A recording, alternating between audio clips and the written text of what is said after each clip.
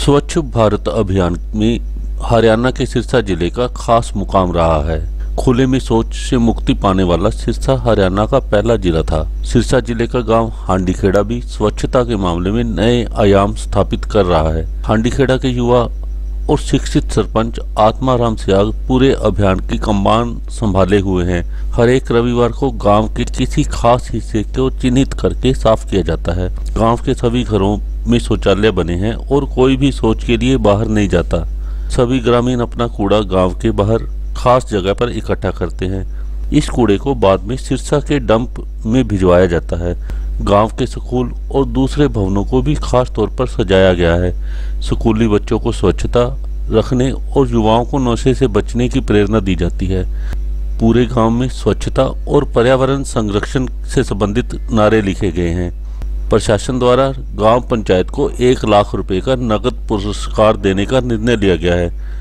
लेकिन सरपंच आत्माराम सियाग को मलाल है कि हांडी खेड़ा में आज़ादी के बाद सिर्फ़ प्राइमरी स्कूल ही चल रहा है, जिससे खास तौर पर बेटियों की शिक्षा पर बुरा असर पड़ रहा है। हमने हांडी खेड़ा का चक्कर लगाकर प्रमुख लोगों से बातचीत की है।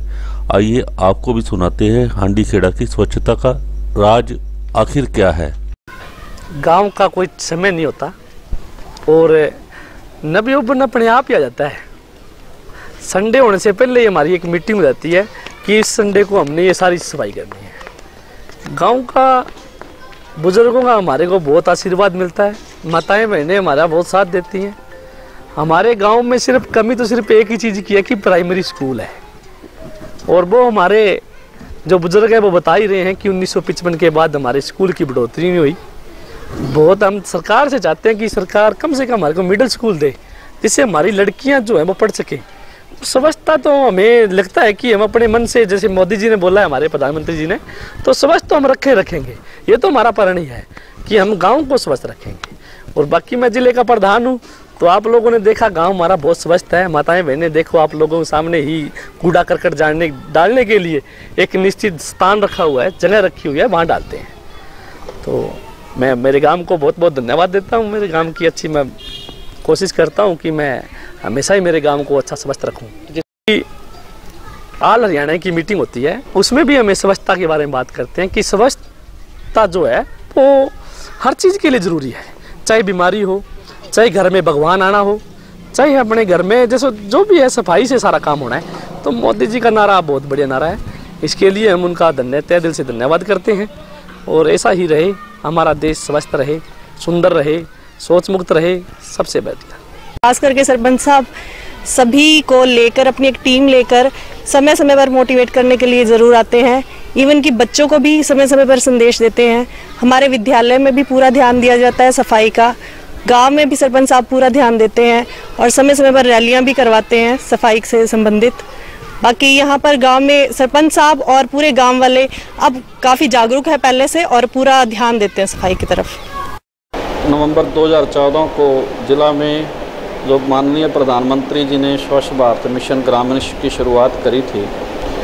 उसको अपने ज़िला में एक नवंबर 2014 को शुरू करेगी। सबसे पहले उस गाँव में लोगों की मीटिंग करेगी। फिर एक कमेटी बनाएगी, स्वच्छता कमेटी, और उसके माध्यम से प्रचार किया गया। गाँव में प्रभात फेरियाँ निकाली गई। डोर टू डोर जाके लोगों को मोटिवेट किया गया। स्कूल में बच्चों को मोटिवेट किया गया।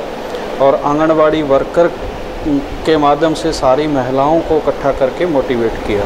आज के दिन उस गाँव में केवल 290 घर हैं। 290 के 90 घरों में शौचालय बने हुए हैं। कोई भी व्यक्ति वहाँ बाहर नहीं जाता है। पूरे गाँव में साफ़ सफ़ाई है।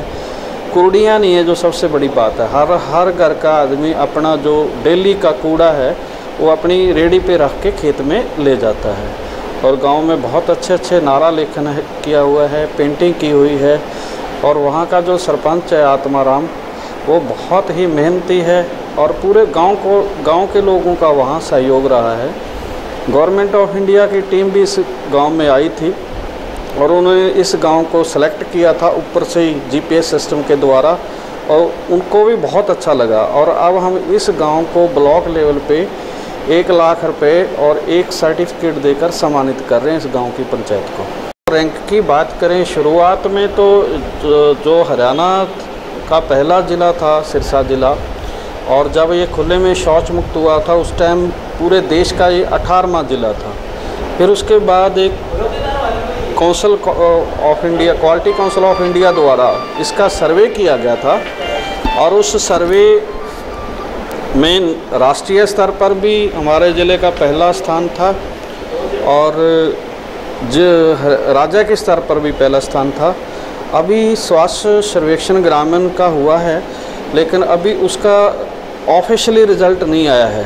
लेकिन पहले 100 ज़िलों, जो देश के पहले 100 ज़िले हैं, उसमें हमारा अट्ठावन नंबर पे आया है।